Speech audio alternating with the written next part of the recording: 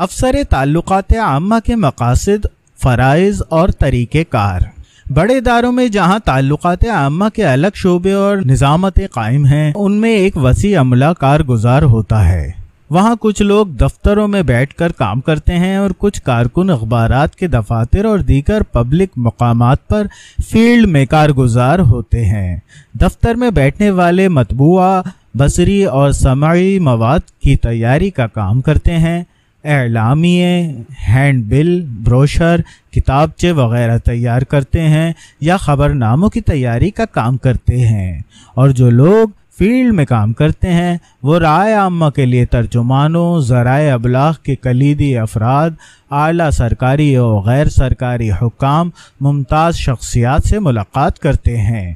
تقریروں، مباحثوں، مجلسوں، مذاکروں، ثقافتی تقریبات، مظاہروں، نمائشوں وغیرہ کے انعقاد کا اہتمام کرتے ہیں۔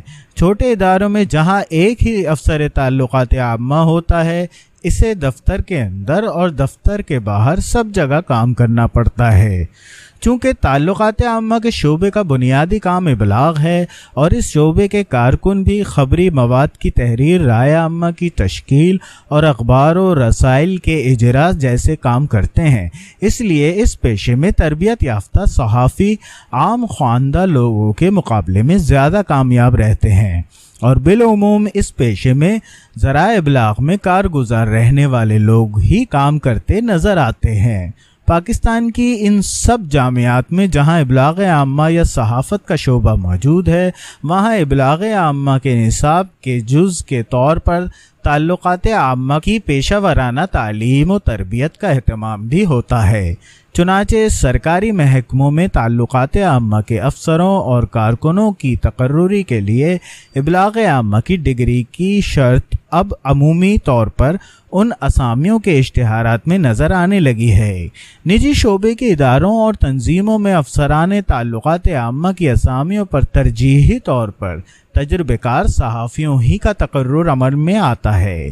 تعلقات عامہ میں کیا کرنا ہوتا ہے؟ کرنا یہ ہوتا ہے کہ محکموں، اداروں یا تنظیموں کی طرف سے عوام کو یہ بتایا جائے کہ وہ انہیں اپنی کیا خدمات، اشیاء اور مصنوعات پیش کرتے ہیں۔ ان خدمات، اشیاء، مصنوعات کی نوعیت، معیار اور افادیت کیا ہے، وغیرہ وغیرہ۔ دوسری طرف خدمات اشیاء اور مصنوعات پیش کرنے والے ادارے اور تنظیموں کو یہ بتانا ہوتا ہے کہ وہ جو خدمات و مصنوعات اور اشیاء عوام کے سامنے پیش کر رہے ہیں، ان کے بارے میں صارفین کا رد عمل کیا ہے۔